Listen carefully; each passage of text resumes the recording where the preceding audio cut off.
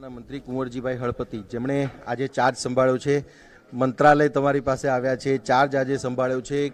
કઈ પ્રકારે? હવે આખા ગુજરાતની વાત થશે. ગુજરાતમાં આદિવાસી સમાજ છે કે ગુજરાતની જનતા જે પણ છે, એ તમારા નિર્ણયોની અસર જે છે એ ગુજરાતમાં જોવા મળશે. કઈ રીતે તૈયાર છો અને કઈ રીતે લોકોને આશ્વાસન આપશો? આજે ગુજરાત સરકારના રાજ્ય કક્ષાના મંત્રી તરીકે મેં પદગ્રહણ કર્યા છે અને ખાસ કરીને ગુજરાતના વિકાસની વાત કરીએ તો અંબાજીથી ઉમરગામ સુધીના જે વિસ્તાર છે વિસ્તારોમાં આદિવાસીની વસ્તી છે. એ આદિવાસી વસ્તીવાળા વિસ્તારોમાં સર્વાંગી વિકાસ આખા ગુજરાતમાં થાય, એની સૌપ્રથમ પહેલી મારી પ્રાયોરિટી રહેશે. અને જે કોઈક વિકાસના કામો અટકેલા હોય, તેને પણ હું આગળ ધપાવવા માટે પ્રયત્ન કરીશ.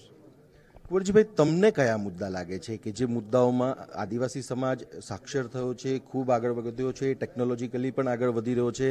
પરંતુ કઈ એવી બાબતો છે જે બાબતો તમારા મનમાં છે કે નહીં, મારા વિસ્તારમાં કે મારા આદિવાસી ભાઈઓ છે કે પછી જે પ્રકારે ગ્રામ વિકાસની વાત છે, શ્રમ રોજગારની વાત છે, કઈ રીતે એમને તમે મદદરૂપ થવા માંગો છો? કયા મુદ્દા તમારા મનમાં? ખાસ કરીને શ્રમ વિભાગ અને રોજગાર પણ મારી પાસે છે ત્યારે હું કહેવા માગું છું કે જે આદિવાસી વિસ્તારોની અંદર સ્થળાંતરનો પ્રશ્ન છે, મજૂરી બાબતનો પ્રશ્ન છે, રોજગારી બાબતનો પ્રશ્ન છે અને તેના કારણે મારા જે આદિવાસી જે વિદ્યાર્થીઓ છે, ભવિષ્ય જેમના હાથમાં છે, એવા વિદ્યાર્થીઓ સ્થળાંતર કરી અધ વચ્ચેથી ડ્રોપઆઉટ રેશિયો થાય છે અને તેને મારી પહેલી પ્રાથમિકતા રહેશે કે શિક્ષણ ત્યાંથી જ પોતાને ત્યાં થાય અને ત્યાં જ રોજગારી મળી શકે તેવા મારા તમામ પ્રયત્નો રહેશે. એક બાબત એ પણ જોવા મળી છે કે વિદ્યાર્થીઓ જે ભણે છે, તો એમને અમુક જગ્યાએ ખૂબ ચાલીને પણ જવું પડે છે કે પછી એમને બસની જે ફ્રિકવન્સી જોઈએ, સમયાંતરે જે બસીસ જોઈએ, બસ પણ એટલી બધી મળતી નથી. તો શું એના માટે પણ કંઈક કરશું? કારણ કે